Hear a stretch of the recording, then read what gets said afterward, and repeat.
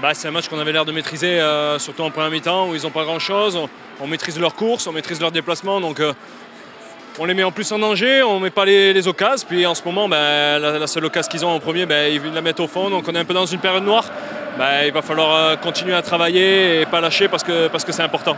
Le second but, il vient rapidement après le premier. Vous n'avez pas réussi à, vous remettre tout de suite dedans et c'est dommage parce qu'il y avait la possibilité de revenir. Ben voilà, c'est des petits détails, des petits trucs, et des petits comptes qui ne tournent pas en notre faveur en ce moment. C'est une période compliquée, il va falloir, euh, comme j'ai dit, il n'y a, qu'un moyen, c'est bosser pour, euh, pour renverser la tendance. Merci beaucoup Mathieu.